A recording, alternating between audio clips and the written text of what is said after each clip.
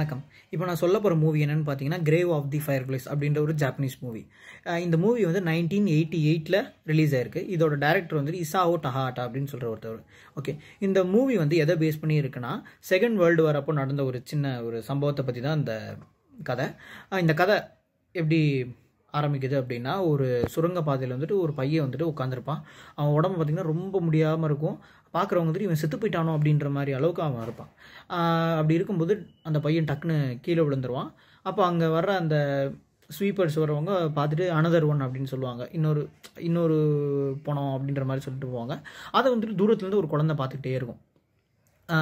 பார்த்தோன்னே அந்த பையன் விழுந்தவொடனே அந்த குழந்தை வந்துட்டு சைத்தோ அப்படின்னு சொல்லி அதை நோக்கி போகிற மாதிரி போகும்போது பின்னாடி வந்து ஒரு கை டச் போட்டோம். பின்னாடி திரும்பி பார்த்தா அந்த பையன் வந்து நல்ல யங் ஸ்டேஜில் நின்றுட்டு இருப்பான் ஓகேவா அப்படின்னு சொல்லிட்டு அந்த குழந்தைய கூட்டிகிட்டு போவான். அங்கே தான் கதை வந்துட்டு ஸ்டார்ட் ஆகும். ஃப்ளாஷ்பேக் உள்ளே போகும்.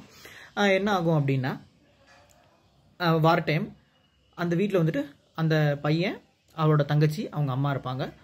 மூணு பேரும் சரி குண்டு மேலே குண்டு போடுறாங்க. ஸோ நம்ம வந்துட்டு போகலாம் ஷெல்டர்ஸுக்கு போயிடலாம் அப்படின்னு சொல்லிட்டு மக்கள் எல்லாமே வீட்டை விட்டு ஷெல்டர்ஸுக்கு போவாங்க.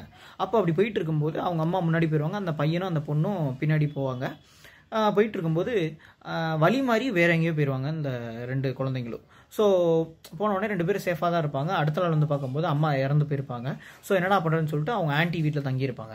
அந்த ஆன்ட்டி வீட்டில் தங்கியிருக்கும்போது கொஞ்ச நாள் அந்த ஆன்ட்டி வந்து நல்லா இது அவங்களுக்கு செஞ்சுட்டு இருப்பாங்க கொஞ்ச நாள் போக போக போக கொஞ்சம் ரஃப்பாக பிஹேவ் பண்ண ஆரம்பிப்பாங்க. இது ரெண்டு குழந்தைங்களுக்கு பிடிக்காது. என்னடா இவங்க இப்படி பண்ணுறாங்களேன்னு சொல்லிட்டு ரெண்டு பேரும் வீட்டை விட்டு வெளியே போகலான்னு சொல்லி முடிவெடுத்து வீட்டை விட்டு வெளியே கிளம்பிடுறாங்க. ஓகே இனிமேல் இதான் நம்ம வாழ்க்கைன்னு சொல்லிட்டு ஒரு சின்ன ஒரு ஆத்தங்கிற ஓரத்தில் ஒரு சின்ன ஒரு வீடு மாதிரி குட்டி ரூம் மாதிரி ஒன்று இருக்கும். அந்த இடத்துல அவங்க ரெண்டு பேரும் வாழ்வாங்க. அதாவது அங்கேயே வந்துட்டு அவங்க பெட்டு அவங்க கிச்சன் எல்லாமே இது பண்ணிவிட்டு அந்த இடத்துலயே வாழலாம் அப்படின்னு சொல்லிட்டு இருப்பாங்க. அந்த இடத்துல வந்துட்டு நிறைய மின்மினி பூச்சிகள் அதிகமாக இருக்கும். அது ரெண்டு பேருக்குமே ரொம்ப பிடிக்கும். நைட் நேரம் தூங்கும்போது அந்த பையன் என்ன பண்ணுவான்னா முத நாள் அந்த மின்மினி பூச்சிகள்லாம் அந்த ரூமில் எடுத்துகிட்டு வந்து உள்ளே விடுவான். அந்த ரூம் அவ்வளோ அழகாக இருக்கும். அப்போ வந்து ரசிச்சுட்டு அப்படியே தூங்கிடுவாங்க அடுத்த நாள் காலையில் எழுந்திரிக்கும் போது அந்த மின்மினி பூச்சிகள்லாம் இறந்து கிடக்கும். அந்த மின்மினி பூச்சிகளை எடுத்து போய் அந்த பாப்பா என்ன பண்ணுவான்னா ஒரு சின்ன குழி மாதிரி வெட்டி ஒரு கிரேவ் மாதிரி தயாரித்து அதை உள்ளே வச்சு புதை புதைப்பா. இதை வந்துட்டு அந்த பையன் பார்த்துட்டு நீ என்ன பண்ணுற அப்படின்னு கேட்கும்போது நம்ம அம்மா இறந்தப்போ இப்படி தானே புதைச்சாங்க. ஸோ அதே மாதிரி நான் அந்த ஃபயர் பிளேஸையும் புதைக்கிறேன் அப்படின்னே அந்த பையனுக்கு வந்து ரொம்ப ஒரு மகா இவளுக்கு தெரிஞ்சிருச்சா நம்ம அம்மா இருந்தது அப்படின்னு சொல்லி யார் சொன்னாங்கன்னா ஆன்ட்டி தான் சொன்னாங்க. அப்படின்னு சரி ஓகே. இனிமேல் என் தங்கச்சிக்காக என்னால் பண்ணணும். போர் முடிஞ்சோடனே அப்பா வந்துடுவார் அப்படின்னு சொல்லி சொல்லி அந்த குழந்தைய வந்துட்டு வளர்த்துட்டு இருப்பான்.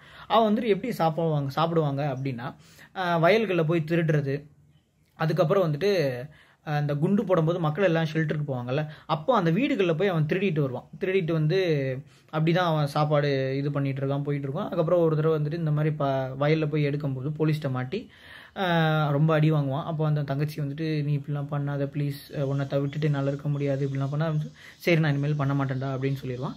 அந்த நேரத்தில் இந்த பக்கம் என்ன ஆகிட்டு இருக்கும் அப்படின்னா அவன் தங்கச்சிக்கு வந்துட்டு ரொம்ப உடம்பு சரியில்லாமல் போயிடும் ரொம்ப சீக்காயிடுவா அவள் ஆஹா என்னடா தங்கச்சிக்கு இப்படி ஆகுதுன்னு சொல்லிட்டு அவன் டாக்டர்கிட்ட கூட்டிகிட்டு போகும்போது டாக்டர் வந்து எதுவும் மாத்திரை மருந்து மாத்திரை தர மாட்டாங்க ஏன் மருந்து மாத்திரை தர கேட்கும்போது உன் தங்கச்சிக்கு வந்து நல்ல நியூட்ரிஷனான ஃபுட்ஸ் தான் தேவைப்படுது இப்போதைக்கு. மருந்து மாத்திரையில் சரி பண்ண முடியாது அப்படின்னு சொல்லிடுவாங்க. ஆஹா இப்படி சொல்கிறாங்களே அப்படின்னு சொல்லிட்டு சரி நான் பார்த்துக்கிறேன்னு சொல்லிட்டு வீட்டுக்கு கூட்டு போயிடுவான். தங்கச்சி வந்து ரொம்ப முடியாமல் இருப்பாள் சரி இப்போ வந்து நம்ம அம்மாவோட சேவிங்ஸ்லேருந்து காசு எடுத்து நம்ம தங்கச்சிக்கு சாப்பாடு வாங்கி கொடுக்கலாம் அப்படின்னு சொல்லி யோசிச்சுட்டு அந்த காசு எடுக்க ஒரு பேங்க்குக்கோ அந்த மாதிரி ஒரு இடத்துக்கு போவான். போகும்போது அங்கே ரெண்டு பேர் பேசிகிட்டு இருப்பாங்க. நம்ம ஜப்பானிஷ் இது அரசாங்கம் வந்து சரண்டர் ஆயிடுச்சு இந்த போரில் அப்படின்னு சொன்னோடனே அந்த பையனுக்கு அப்போ தான் தெரிய வருது நம்ம ஜப்பானீஸ் அரசு வந்துட்டு சரண்டர் ஆயிடுச்சு என்ன சொல்கிறீங்க அப்படின்னு கேட்கும்போது ஆமாம் சரண்டர் ஆயிடுச்சு அப்போ எங்கள் அப்பாவோட நிலைமை என்ன அப்படின்னு கேட்கும்போது அதெல்லாம் தெரியாது போடான்னு சொல்லி வெளியே வரட்டி விட்டுருவாங்க. சரி ஐயோ போச்சுடான்னு சொல்லிட்டு அவங்க அப்பாவோட ஃபோட்டோ எடுத்து பார்த்துட்டு அழுதுட்டு சரி தங்கச்சி வெயிட் பண்ணிட்டு இருப்பான்னு சொல்லிட்டு அவளுக்காக வாட்டர் பாட்டில் நிறையா வாங்கிட்டு அங்கே போவான். அங்கே பார்த்தா தங்கச்சி வந்துட்டு ரொம்ப உடம்பு முடியாமல் வாயில் எதுவும் மின்னுட்டு இருப்பா. பார்த்துட்டு செச்சுக்கோ நீ என்ன வாயில் என்ன வச்சுருக்க? அப்படின்னு கேட்கும்போது நான் வந்துட்டு ஃப்ரூட் ட்ராப்ஸ் வச்சுருக்கேன். எந்த உனக்காக வச்சுருக்கேன்னு சொல்லிட்டு அந்த டப்பா தூக்கி காமிப்பா. ஐயோ அப்படின்னு சொல்லி என்னடா சாப்பிட்றான்னு சொல்லிட்டு வாயிலேருந்து எடுத்து பார்த்தா உள்ளே ஒரு மார்பிள் கல் இருக்கும். அவன் சொல்லி இங்கே பாரு செச்சுக்கோ இது மார்பிள் கல் இதெல்லாம் சாப்பிடக்கூடாதுடா.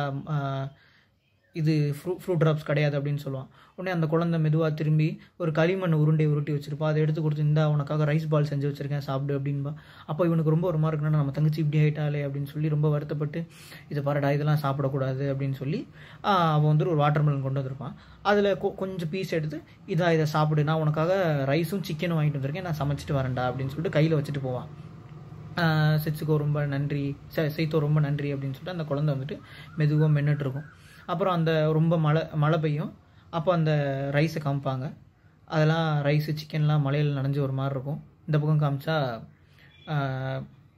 சீத்தை வந்துட்டு ரொம்ப கவலையாக உட்காந்துருப்பான் இடம்னு பார்த்தா ஒரு கூன் ஒரு இது மாதிரி ஒரு பெட்டி மாதிரி இருக்கும். அதில் வந்துட்டு செச்சுக்கோவோட பொருள் அப்புறம் செச்சுக்கோவை படுக்க வச்சுருப்பான். இடம்னு பார்த்தா அந்த குழந்தை இறந்து போயிருக்கும். அதை வந்துட்டு எரிச்சிருவான். அந்த குழந்தைய எரிச்சிட்டு அம்மா இறந்துட்டாங்க அப்பா இறந்துட்டாங்க. எல்லாமே தங்கச்சிக்காக தான் நினச்சி எல்லாமே பண்ணிகிட்டு இருந்தோம். இப்போ அந்த தங்கச்சியே இல்லாத போது நம்மளால் ஒன்றும் பண்ண முடியாது அப்படின்னு சொல்லிட்டு அந்த பையன் இறந்து போயிடுவான். இதான் அந்த கதை.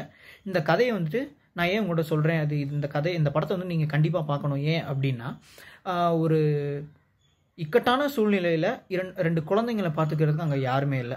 அவங்கள பார்த்துக்கிறதுக்கு அவங்க தான் அப்படின்ற மாதிரி இருக்க சூழ்நிலையில் அவங்க எப்படி வந்துட்டு அந்த வாழ்க்கையை சமாளித்து இது பண்ணாங்க? அந்த போர் முடிஞ்சதுக்கப்புறம் அந்த ஜாப்பனீஸ் எம்பையரே வந்துட்டு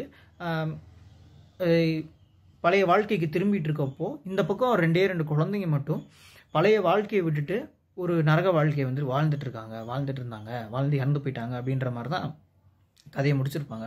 ரொம்பவே அழகாக எடுத்திருப்பாங்க காமிச்சிருப்பாங்க. அந்த சிஸ்டர் பிரதரோட ஃபீலை வந்துட்டு அந்த அளவுக்கு சொல்லியிருப்பாங்க.